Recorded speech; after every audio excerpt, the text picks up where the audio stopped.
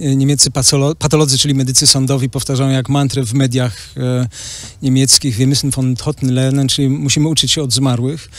E, I to dotyczy również e, sekcji zwłok pacjentów, którzy zmarli na COVID, bądź też ostatnio pacjentów, którzy zmarli w krótkim czasie po szczepieniach. Właśnie takim prekursorem tych badań sekcyjnych był profesor Klaus Püschel, w tej chwili już emerytowany dyrektor Instytutu Patologii Kliniki Uniwersyteckiej w Hamburgu, który przeprowadzał sekcję zwłok od początku pandemii. E, Dosłownie każdy pacjent e, trafiał na stół sekcyjny profesora Püschela. No i profesor Püschel był zafrapowany, że jednak e, znaczna część pacjentów, którzy zmarli w wyniku COVID, nie zmarli w czasie, w, w wyniku samego COVID, tylko często w wyniku chorób towarzyszących.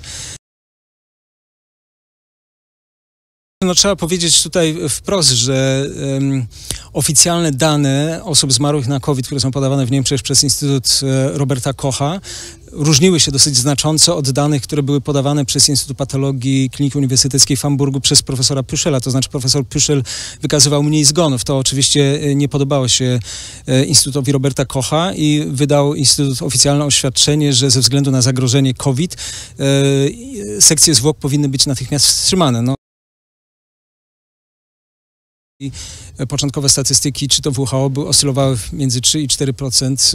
e, Statystyki wynikające, e, śmiertelność wynikająca ze statystyk Uniwersytetu e, Johna Hopkinsa oscylowała wręcz między 5 a 10%. Czyli straszne. No tak, straszne, co oczywiście w połączeniu ze strasznymi obrazami, które ukazywały się w, w telewizji czy w, no, w innych mediach z Chin czy, czy z Włoch, z Bergamo. Pamiętam obraz, kiedy armia włoska wywoziła trumny, twierdząc, że e, jest taki nawał po prostu e, zmarłych, że nie ma kto ich wywozić, co później okazało się nieprawdą, ponieważ e, ze względu na przepisy kwarantannowe większość zakładów pogrzebowych było zamkniętych, ponieważ ich właściciele byli na kwarantannie. Trzeba powiedzieć, że szczepionki, które są obecne na rynku, one indukują powstanie e, tak zwanego białka kolcowego, które jest tak zwanym antygenem indukującym powstanie przeciwciał. Natomiast sam wirus e, SARS-CoV-2 e, nie składa się tylko z białka kolcowego, ale też z białka płaszczowego i przy naturalnym przechorowaniu COVID organizm reaguje na około 20 tak zwanych epitopów, czyli różnych punktów w wirusie.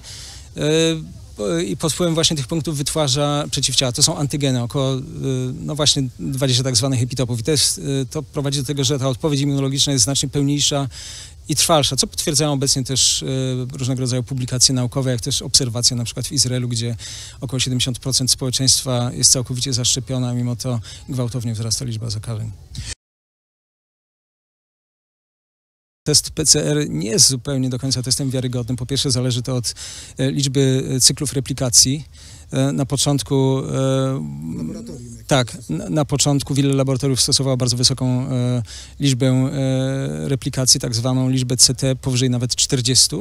No i to prowadziło do w, większości zafałszowanych wyników, fałszywie pozytywnych wyników. Także test PCR czy nawet test antygenowy e, nie jest aż tak e, specyficzny, żeby wykryć e, u każdego pacjenta, e, który przeszedł COVID, czy, czy przechodzi COVID, obecność wirusa. Natomiast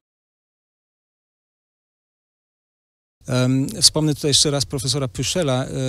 On przeprowadził te badania już ponad rok temu, na wiosnę. Przeprowadzając pierwsze sekcje zwłok, stwierdził właśnie, że jedną z przyczyn śmierci w wyniku COVID jako powikłanie jest powstawanie zakrzepów, ponieważ tak zwane białko kolcowe koronawirusa e, indukuje powstawanie e, zakrzepów w organizmie. No i e, to jest kluczowe do tego, żeby wdrożyć odpowiednie terapie, no i wówczas można było dopasować tak zwaną e, terapię antykoagulacyjną na oddziałach intensywnej terapii, bo było wiadomo, że ludzie, którzy chorują na COVID mają wyższe ryzyko zakrzepicy, także potwierdza się tutaj ta mantra, którą powtarzają ciągle niemieccy patolodzy, że wir müssen von Toten lernen, musimy uczyć się od zmarłych.